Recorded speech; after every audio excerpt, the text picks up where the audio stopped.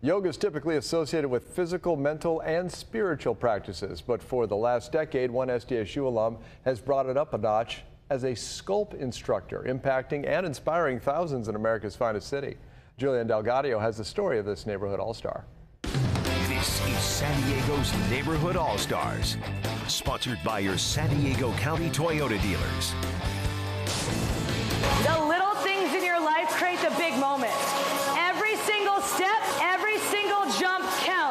Walking into this class is like, I just showed up, I have no idea what I'm getting into. I playfully describe to them that I call it party yoga. Shoot, Sculpt. Smurf, Jackson one. An hour on the mat. Inhale. A 10 year career for Yoga Box instructor Kim Von Frem. It's an opportunity to find the big love in life. It's definitely yoga in the message that I'm giving you.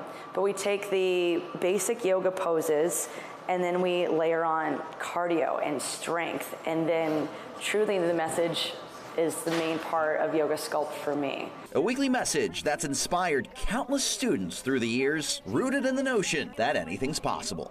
It's usually founded in the small steps, the little act of bravery. So I'm a yoga instructor with different length arms and I can't make a flat hand.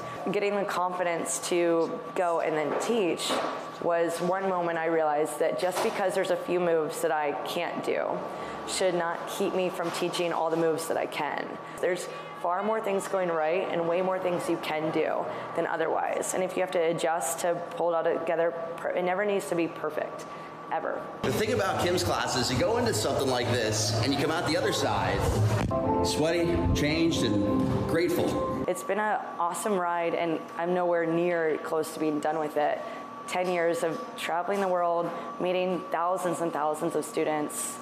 Uh, it's truly just been one of the biggest, it's been the most meaningful thing I've done with my life. In North Park, Remind your neighbor they're doing a good job. I'm Julian Del Gaudio.